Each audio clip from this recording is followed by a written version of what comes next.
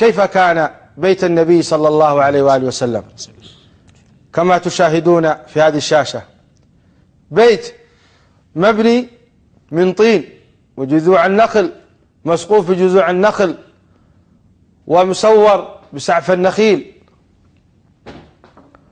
مكون من فناء.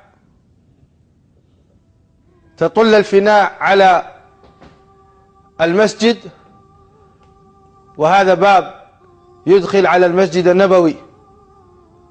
وباب آخر يخرج على الشارع. يا ترى كم كانت مساحة منزل بيت سيد البشر؟ كم كان مساحة قصره؟ أين كان يعيش عليه الصلاة والسلام؟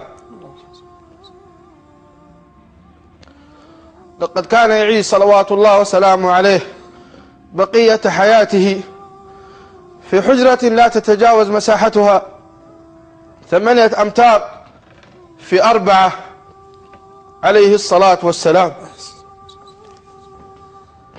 كان بأبي وأمي صلوات الله وسلامه عليه يقوم الليل في بيته. الضيق